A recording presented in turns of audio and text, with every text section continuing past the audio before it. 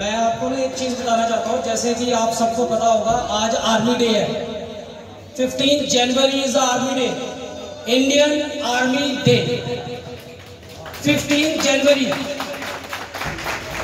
So so, हमारे साथ एक आर्मी के शख्स है जिन्होंने अपनी पूरी लाइफ आर्मी को डेडिकेट की इंडिया को डेडिकेट की। So I have the privilege to welcome colonel Deepak Vashishtha please he is from Gorkha regiment he is retired so please ladies and gentleman ताली तो बनती है यार and brave wife please missus colonel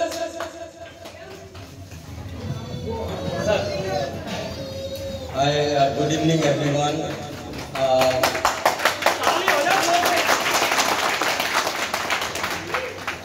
Uh, Deepak Vashisht and my wife Ritu Vashisht.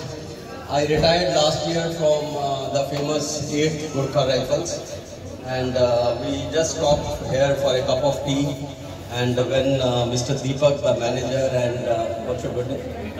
Vikas Singh they somehow identified me from my cap, which is uh, bearing the weapon of my regiment, the Kukri. And then they requested me कि sir आज army day है तो आप कुछ बोलिए सबके लिए. So firstly, uh, sorry intervening into your routines and your food and uh, item whatever you are enjoying. And uh, but ठीक है, um, I was in army. Uh, I got commissioned in 1987 and uh, trained at Indian Military Academy And then served the Indian Army for 35 years at various places, uh, starting from uh, Sri Lanka to Kargil to uh, four times in Kashmir and eight times in Nagaland and Northeast. So that is how it is. हम लोग army में जब जाते हैं दो तीन चीज़ें होती हैं जो हमें कैरी ऑन करती हैं एक आदमी का नाम होता है एक जज्बा होता है उस जज्बे को लेकर, उस डिसिप्लिन को लेकर, उस इंटीग्रिटी को लेकर हम चलते हैं आगे। और सिर्फ़ एक आप लोगों के लिए मैं यही एक छोटी सी बात कहूँगा कि एक यूनिफॉर्म में ही एक जज्बा नहीं होता है। एक यूनिफॉर्म के बिना भी जज्बा होता है, जो आज इन्होंने दिखाया है।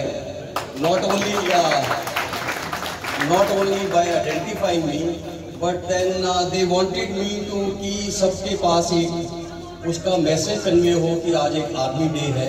It's not only for me it is for that great organization जिसके हम हिस्सा रहे हैं। और जो कि आप सबको मालूम है कि इस देश का लास्ट रिजॉर्ट है।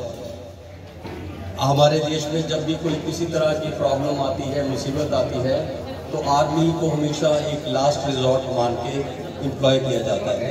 So that's what it is thank you so very much I wish जो भी मेरे सर्विंग लोग हैं, मेरे कॉमरेड्स हैं, जहाँ भी हैं सकुशल रहें और आई एम ग्रेटफुल टू परमपिता भगवान को that he has given me so much of honour कि अभी भी यूनिफॉर्म से बाहर आने के बाद भी लोग आपको ऑनर करते हैं। एक ऐसी ऑर्गेनाइजेशन में और उसका बहुत बड़ा हिस्सा हमारी जो बेटर हाफ्स हैं, जो पीछे से हम जब चले जाते हैं आगे बॉर्डर पर तो वो सब काम उनको ऊपर होता है। मेरे दो बच्चे हैं, वो कैसे बड़े हुए मेरे को नहीं मालूम। इन्होंने ही सब वो लड़ाइयाँ लड़ी हैं।